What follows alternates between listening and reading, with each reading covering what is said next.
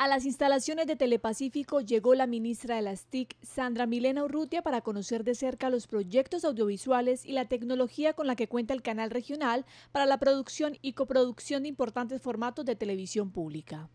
Yo creo que es fundamental el soporte que da la televisión pública en las posibilidades de conectividad por la misma red de transmisión que tenemos, pero aparte de eso, por los diferentes operadores que están vinculados y los que existen actualmente en la región.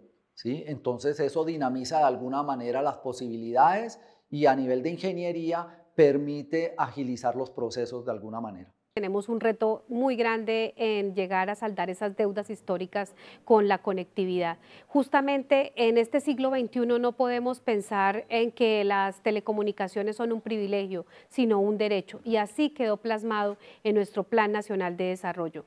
Eh, en esa medida que diseñamos una estrategia nacional que está prevista para los operadores que ya están hoy prestando el servicio, en donde vamos a lograr que donde ya tenemos cobertura, mejoremos su calidad, este respaldo del Ministerio de las TIC permite impulsar la creación de contenidos audiovisuales de calidad, visibilizando a la región y al país desde la señal de televisión en vivo y a través de la señal online.